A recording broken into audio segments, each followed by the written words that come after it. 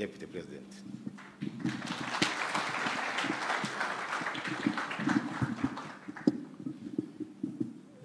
Your Excellency, President William Ruto, President of the Republic of Kenya and Commander-in-Chief of the Defense Forces, the Chairman of the Board of Directors, KRA, the Acting Commissioner General, senior officials and members of staff of KRA, good morning. Your Excellency, it's always a pleasure to accompany you around the country as you make various interventions for the economic transformation of our great republic.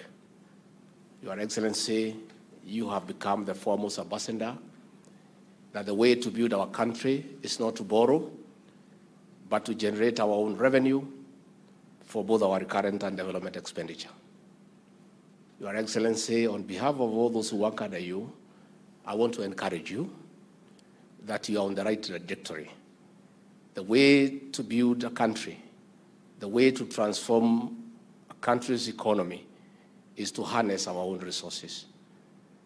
I know many people are uncomfortable that you have made a policy shift from borrowing money from external sources and internally to creating our own revenue base to fund and finance our expenditure.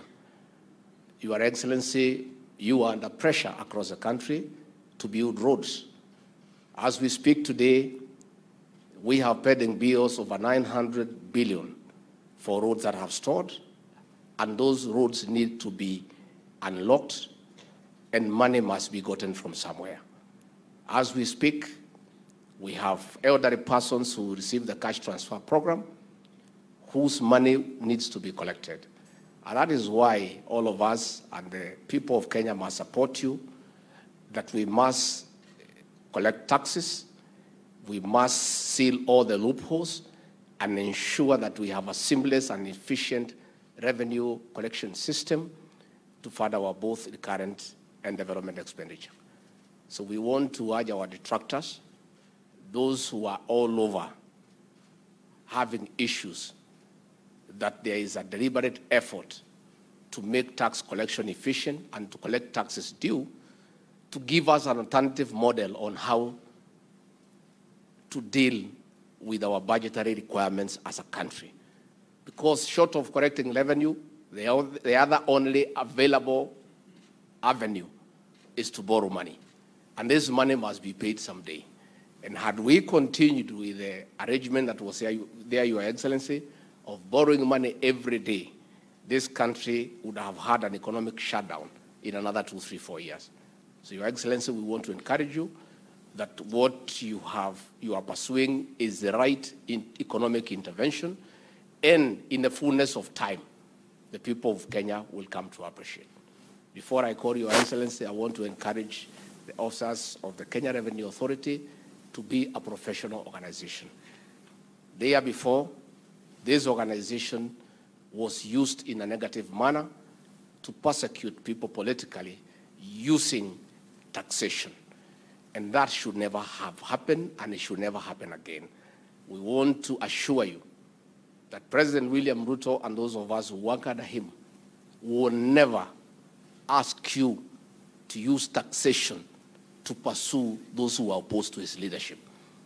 If there are people, and they are there, who are opposed to his leadership, they will be handled politically. And the political way is where he is a master. And I assist him in managing politics in a political way.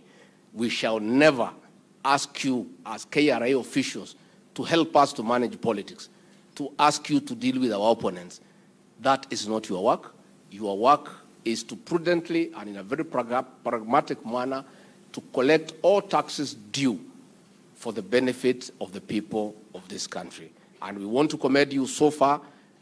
Kenyans are happy that there is no harassment, there is very proactive engagement where people are unable to pay, you are able to sit down with them, agree on a payment plan that is practical for the benefit of this country and for posterity.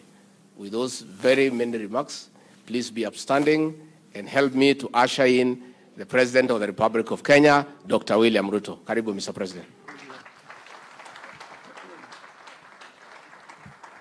Asante sana Bwana Deputy President. Please let's take our seats. Good morning everybody. Asanteni sana kwa kutukaribisha.